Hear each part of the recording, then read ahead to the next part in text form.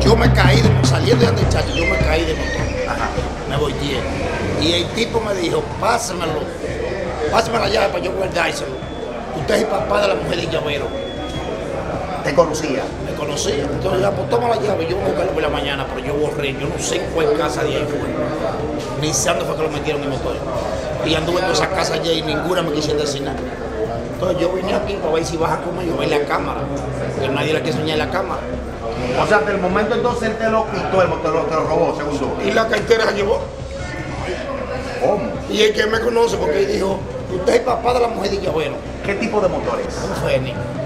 La persona, ¿tú recuerdas cómo era? ¿Quién era? Más o menos. Eh, Yo no me recuerdo uno, y ahí fue, que, ahí fue con el golpecito, allá está el bebé borré. Uno solo yo, güey, que es un flaco, laguito, con un suerte blanco andaba. ¿Eso fue dónde? La Sánchez con Emilio Prudón. Entonces dime algo, ¿qué tú le pides a esa persona por aquí? Que si lo tiene motor, que me lo despache, que me mande a buscar para que yo irlo a buscar de té. Y si hay que regalarle algo, por agradecimiento, dárselo. ¿A qué, hora más, ¿A qué hora más o menos? A las 2 de la mañana, ¿Cómo cuánto cuesta el motor? como 85 mil pesos. Esa persona, Y nueve veces que no tiene atrás más. ¿dónde pueden entonces comunicarse contigo? Ahí en la, en la Villini, 100 pay de 8. Da un teléfono. Sí, 829-318-8650. ¿Cómo el nombre tuyo, hermano? José Benjamín Pérez, José Benjamín, ¿qué tú haces? ¿A qué tú te dedicas? Evanita. Banista. Y que trabaja allí en la senaduría, tú sabes. Bueno.